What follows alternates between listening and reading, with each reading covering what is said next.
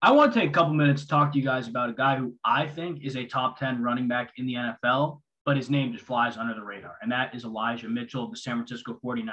Before I show you any stats, any film, I'm going to walk through two things the 49ers do to help maximize Mitchell, even Deebo in the backfield, whoever's there. The first thing is something called split zone. It's a run concept where the entire offensive line is basically going to be moving in one direction. They're going to have zone blocking assignments going in one direction, and a tight end or a fullback or whoever he's going to come across and split the zone on some unblocked defender over here. What this sometimes allows is a lane for Elijah Mitchell to go through, or it allows for numbers on the other side, as if Elijah Mitchell were to get the zone handoff right here, inside zone. We've all run it Madden. You have numbers on that side, so you're going to run to that side. So it's almost like a two way go if Mitchell needs it. Another thing the 49ers love to do is use Kyle Juszczyk. And I can walk through a very similar here everybody's going to zone block this way, right? The tight end, the entire offensive line, it's still that same zone concept. But Juszczyk will go in motion pre-snap. They'll snap it when he's just past the quarterback, and he will go split the zone over here. You got a guy who's really good at blocking, really good at doing a lot of other things. He can go out in the flats for a pass. That's what they build this off of. But he goes, he splits the zone. It's the same thing for Mitchell. They love to use Juszczyk. You're going to see it in these clips I'm going to show you. There's a lot they do to help Mitchell, but I don't want that to take away from the game. I'm going to show you guys some numbers here as well. Elijah Mitchell's the real deal. He was fifth in the NFL last year in yards per game as a rookie. Correct me if I'm wrong. He was a rookie last year, and he was top 10 in yards per carry. The golden ticket statistic, after you guys look at these rushing totals from each game, he had 100 yards in almost half of his games, which is it's a lot. It, it really is. Not a lot of guys in the NFL can do that at the clip that Mitchell does it at. Um, he he's legit. He's legit. What I want to show you guys now is this golden ticket statistic I call rush yards over expected per attempt. That's how many more rush yards you get than you're expected to on any given carry. And there are freaks, right? There's Rashad Penny. Rashad Penny had an awesome end of the season last year. So he averages over two yards more than expected every time he touches the ball. But Elijah Mitchell is not far behind. He averages 0.6 yards over expected every time he touches the ball. And, you know, it may not seem like a lot, but guys like Rashad Penny, they'll have less touches. You see the attempts here 119 attempts compared to Mitchell's 207, right? Bigger sample size, you get more accurate data.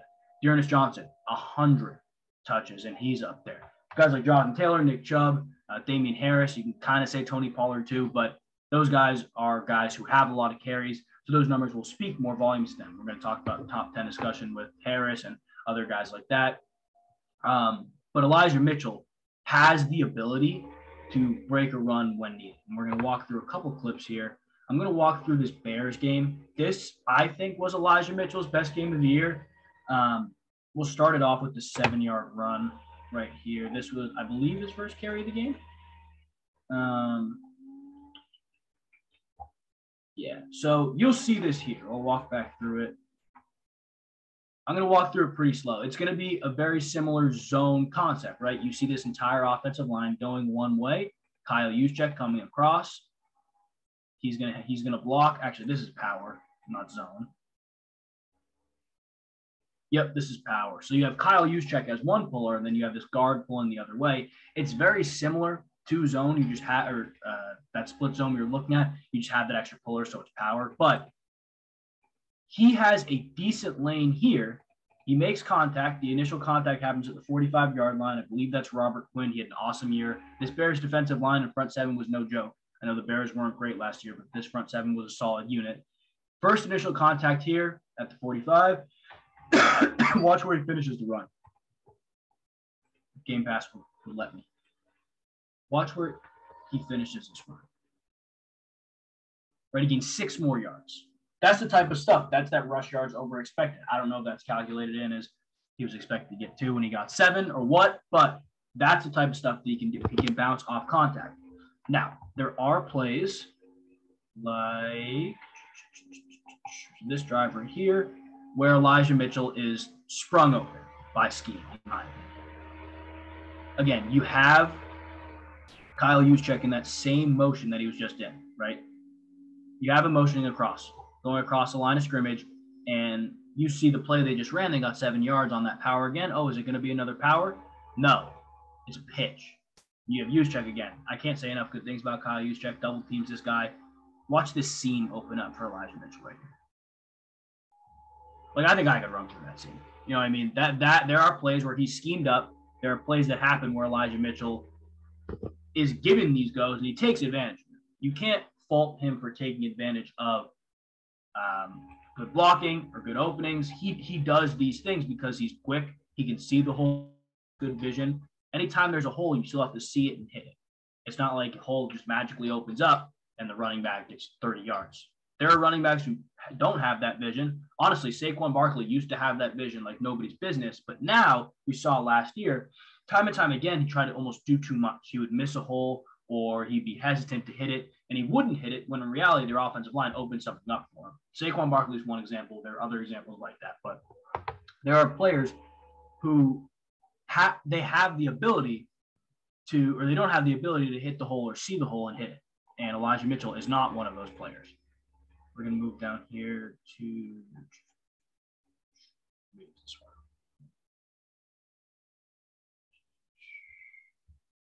Take this one.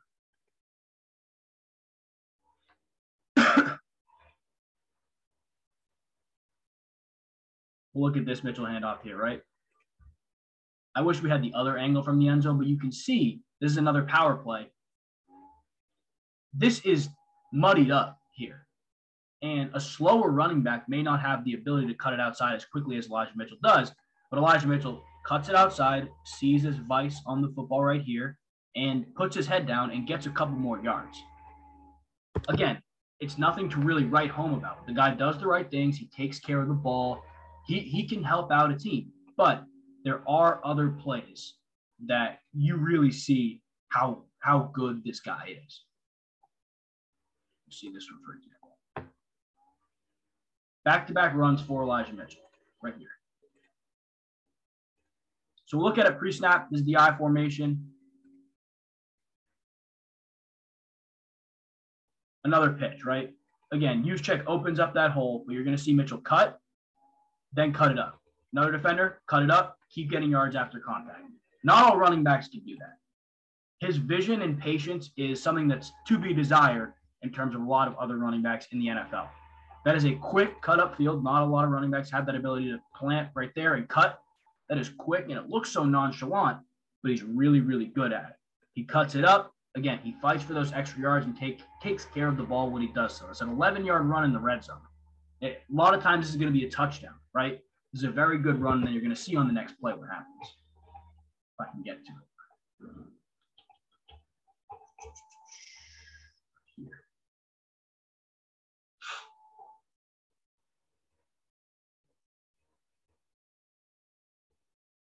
right here, right?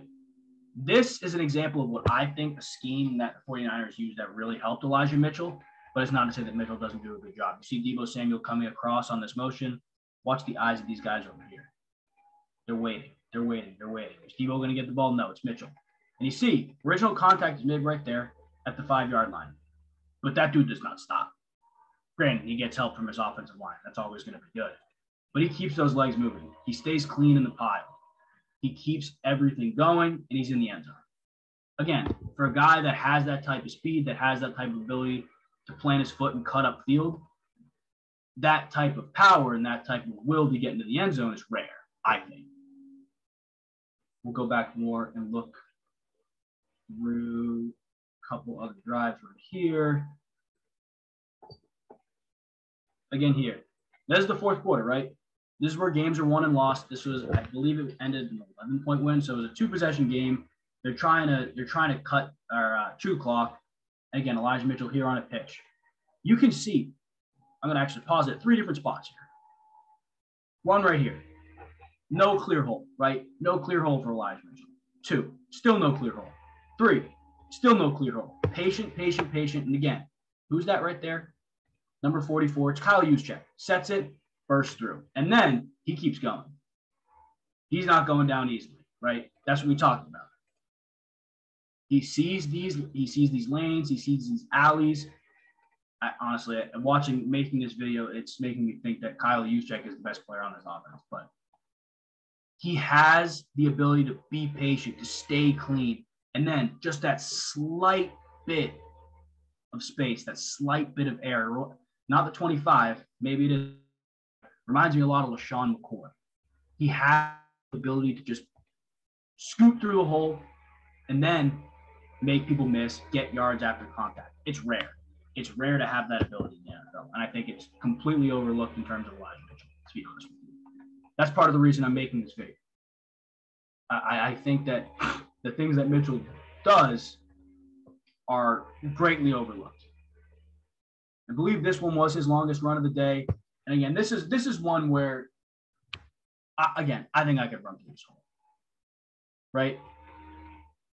It's that motion to a pitch. You have a guy like Kyle Juszczyk coming across, destroys that blocker. First of all, I think literally in the mid, in the middle of this video, I may change the title of this video. How Kyle Juszczyk and Elijah Mitchell are both underrated, but Kyle Juszczyk comes across, destroys this blocker, gets on a new one. But again, this is not an easy cut for Mitchell. He still has to make this guy miss. Granted, he's not coming to balance. It's not uh, an easy tackle to make. He still's got to make that guy miss. Gets contact, keeps going, keeps going, keeps going, keeps going, keeps going. This dude can run. again, he's not going down easily. you even watch where this first bit of contact comes in right here. He like 28, 20, 28 yard line, finishes at 24.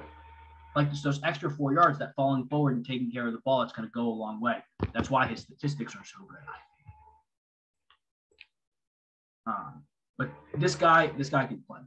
He truly can play. I'll show you one more clip to finish it off, and then we're going to talk about what the what the top 10 actually looks like. We'll go back here. Another pitch. Who's leading the way? Kyle Juszczyk. Now that's a lot of space. I, I'm not sure. Maybe they just bit down. It looked like the backers pushed over to the left a little bit.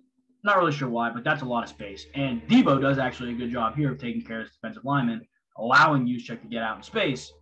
And then again, Mitchell is he has the space, he takes it. Again, you can't fault him for that. But like we talked about, that big run along the left sidelines was the one where I really I was like, okay, like where he just scooted through that hole. I was like, okay, this guy's really good. This guy's really, really good. The patience is Le'Veon Bell esque, but truly he reminds me of LeSean McCoy. Prime LeSean McCoy, make guys miss, be smart with the football, even though he doesn't hold it out here and juggle it all around. The dude can play. And to be honest with you, I, I, I was very impressed watching a couple games, but I want to show this Bears game specifically because I feel like this was his best at least statistically. Um, but I want to walk through the top 10 list with you guys right now because there are, I believe, six six running backs. You could even I'll put Najee now. Six running backs who I would confidently say are better than Elijah Mitchell. Derrick Henry, Jonathan Taylor, Nick Chubb, Dalvin Cook, Joe Mixon. Now, injuries aside, would Christian McCaffrey be up here? Yeah. Injuries aside, would Saquon Barkley be up here? Yeah. But you can't necessarily put those guys in there now, given their career situations. And given the fact that Elijah Mitchell is only a rookie, right? There are times where there's sophomore slumps, but you have guys who come into the league like Ja'Marr Chase, um, trying to do Jaylen Waddle, like other guys like that who come into the league and light the league on fire. They're good players. We still throw them in our top 10, top 20, whatever lists. Got to keep the same energy with Elijah Mitchell if we do it. Aaron Jones, I could see the argument for. But last year was a down year. I know he was hurt. It was a down year for Aaron Jones. Going into the season, you asked me, or not going into the season, going forward, given age, given all this, would I rather have Aaron Jones or would I rather have Elijah Mitchell? I would rather have Elijah Mitchell.